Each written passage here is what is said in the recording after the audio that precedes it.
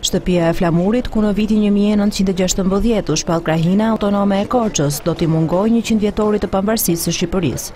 Pavarësisht premtimeve për rindërtimin e këtij monumenti kulture, pas djegjes asgjë nuk ka ndryshuar. E vetmja pamje që do të ofrojë shtëpia e Flamurit më 28 dhe 29 nëntor, është një gërmadhë. Kryetari i Bashkisë së Korçës, Niko Peleshi, pohon se ky institucion nuk mund të ndërhyjë nëse nuk përfundojnë të gjitha procedurat nga institucionet përkatëse. Ditët po kalojnë, po bëhet gjithnjë dhe më i pamundur fillimi dhe përfundimi deri në datën e Shpalljes së Pavarësisë, ku çdo qytetar i Korçës do të ndjehej më mirë në qoftë se do të kishim mundur me sukses të rindërtonim këtë shtëpi deri në datën njëzet e tetë nëntor.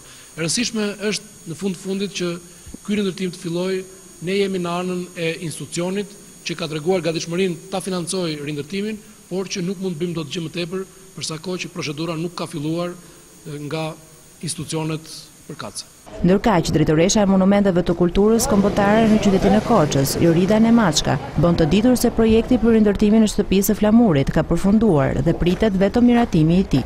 projekt gjithëpërfshirës dhe së shpejti do marrë procedura e miratimit në Këshillin Shkencor dhe KKR.